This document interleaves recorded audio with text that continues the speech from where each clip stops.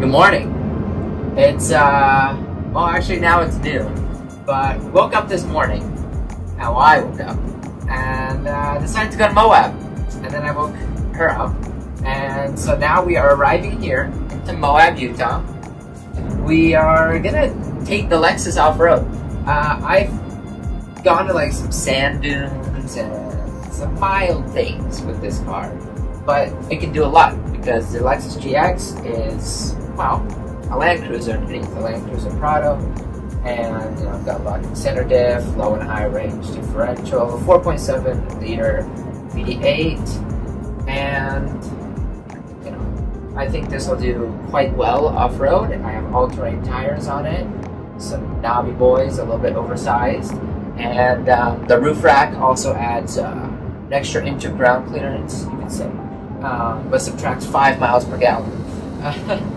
and let's see how it goes. It's gonna be a short trip. We're going there, we're staying a couple hours, and we're coming right back to Salt Lake. So this is a little detour from our normally scheduled programming of the Europe vlogs and the tech reviews. So let's go have some fun. So now we're going into Canyonlands and we're going to do the Shafer's Trail. Um, Shafer's Road is, is road. It is pretty much a dirt road, but it's difficult and has some switchbacks. And, but the cool thing is you're right along the Colorado River. So we're going to go there now. So, the Shafer Trail is actually at the mouth of a salt, uh, I believe, uh, farm. And so you actually drive past a uh, loading plant where they have trains and such. So you'll take the asphalt road all the way to the end. Then it just becomes a dirt road. There's a place to load and unload boats in case you want to go into the Colorado River. And you also pass by a lot of campgrounds. And what's really cool is as you're driving along the Colorado River, you'll see a bunch of people actually climbing the walls along the side of the river. It's incredible to see, and I bet it's even more incredible to do. Here you see some of the articulation of a stock Lexus GX 470 2007 model year.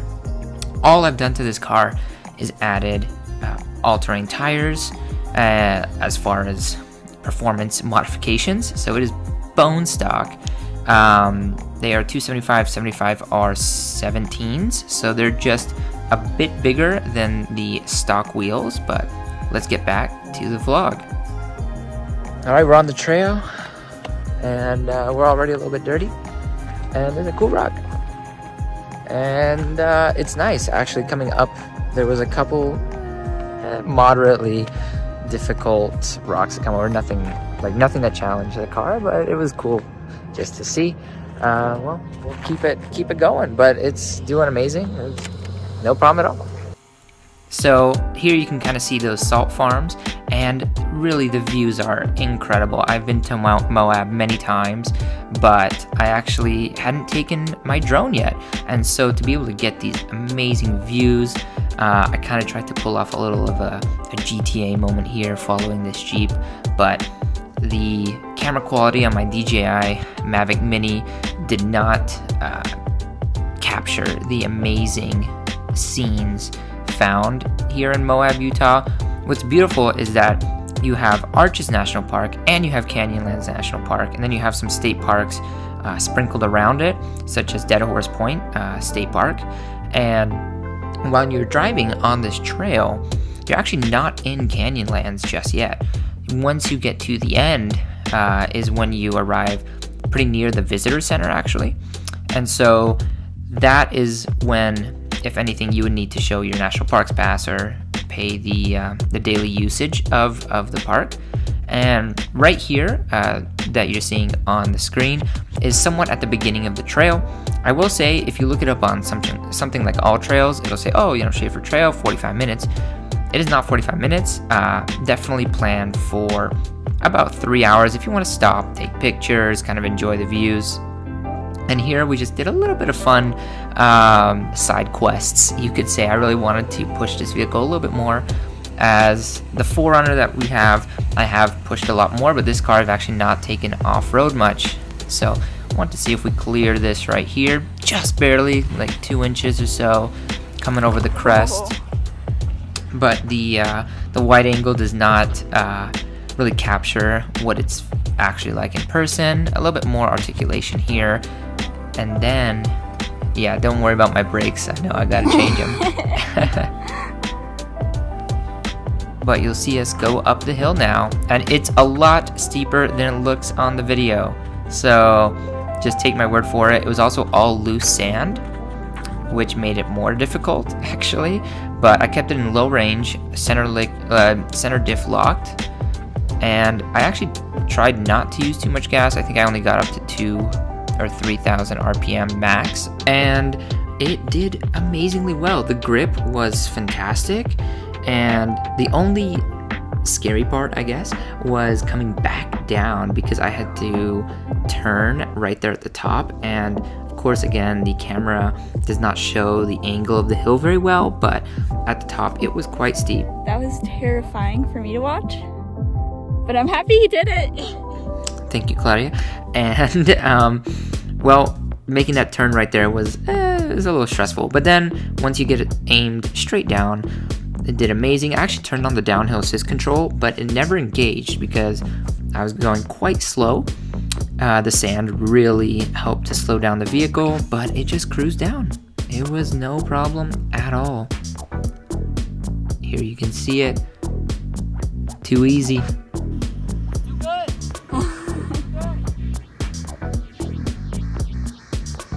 Yeah, it's too good, like I said, and the views are immaculate. Bye.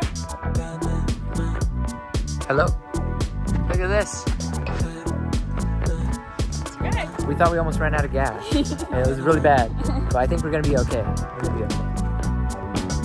okay.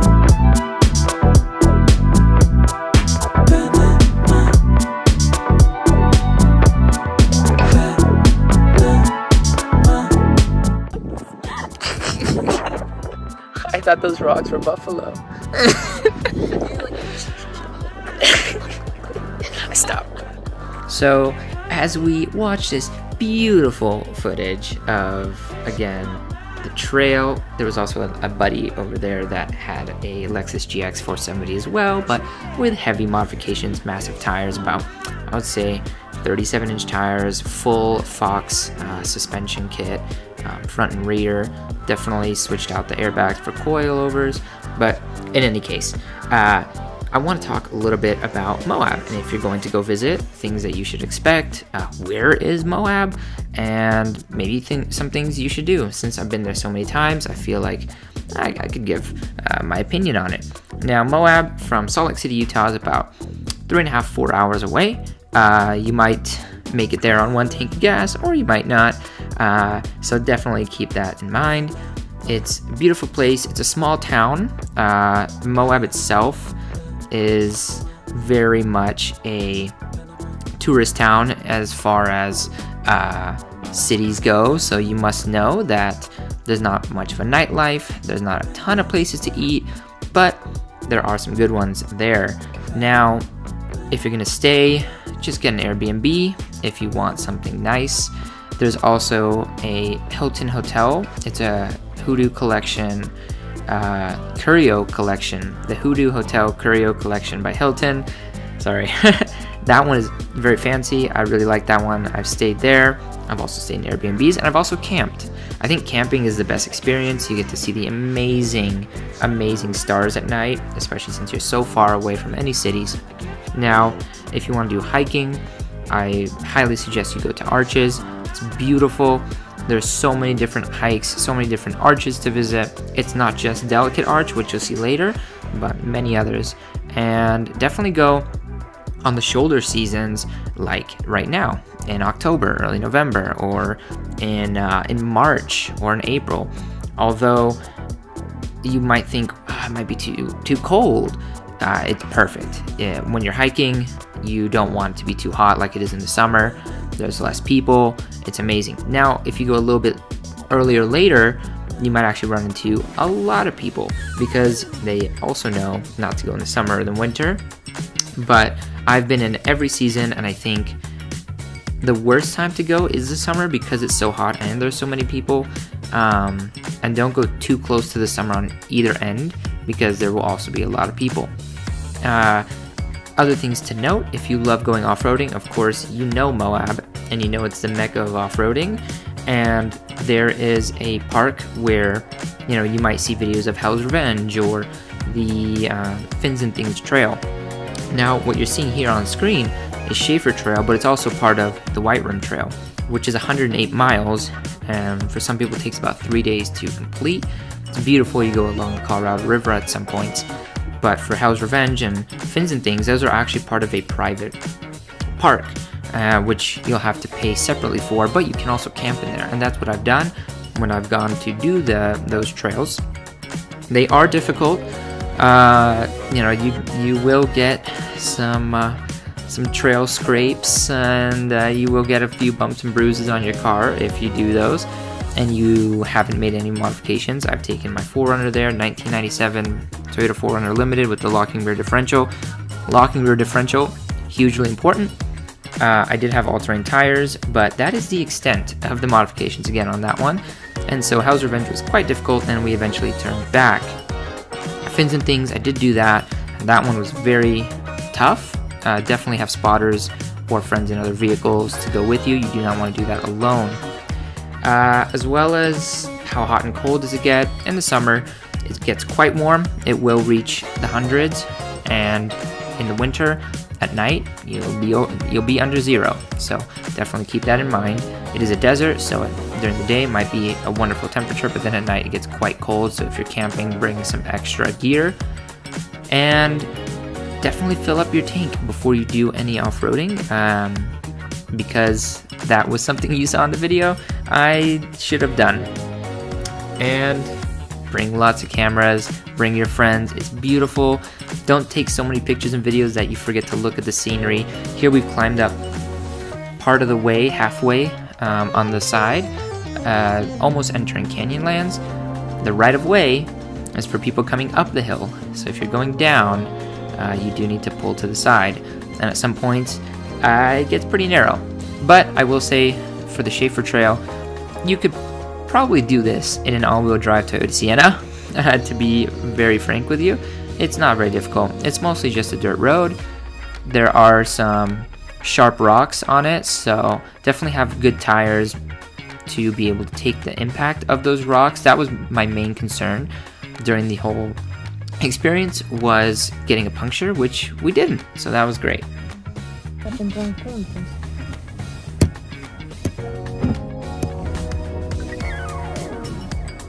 Close a ring? Who Me? closed the ring? Me? I can close the ring. How did you close one? so we're gonna fast forward a little bit on this because we got a lot of footage to go through, but truly it's an amazing place. I highly recommend visiting Moab if you are in Utah on a trip. I often will take people from out of state, like from Florida and such, to Moab if they're only here for a weekend because you can you can make the trip in a day just like I did in this video. Uh, you just leave early enough in the morning. You'll get some things in on that day if you hike or you go off road, um, and you'll be able to make it back uh, that same evening, even if you get back at midnight. So it's definitely a close getaway. Now you've probably seen you know videos of Amangiri, that amazing uh, resort hotel that's in Utah and all the celebrities stay at. That is not in Moab. That is actually close to Lake Powell.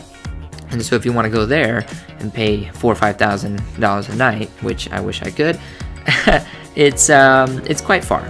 So if you're going from let's say Salt Lake City, that will be probably a five or six hour drive. We made it to the top. Beautiful. Look at this view. We are right on the edge. uh, it's, a, it's a little ways down. It's the White Rim Trail all the way. Very cool. Honestly, not that hard. Look There, she's in there. Doesn't want to come out. So next, we drove real quick all the way to Arches, got in, and started hiking to Delicate Arch. And we did it right at sunset, so I wouldn't suggest that. We're going up to Delicate Arch even though it's uh, already sunset. Let's see if we make it before it gets dark.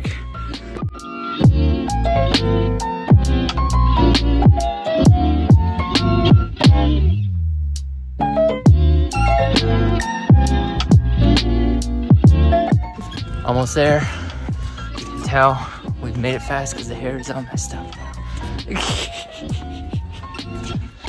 oh, my teeth are so white. Made it. Beautiful. How fast did we do it? 30 minutes. Amazing. Amazing. Fastest I've ever done it. That's like the 10th time I've been here.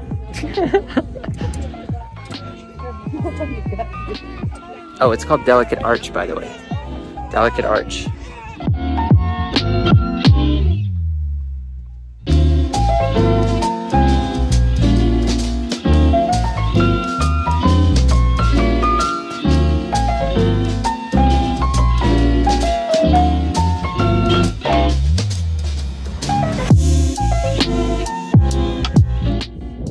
Well, that's it.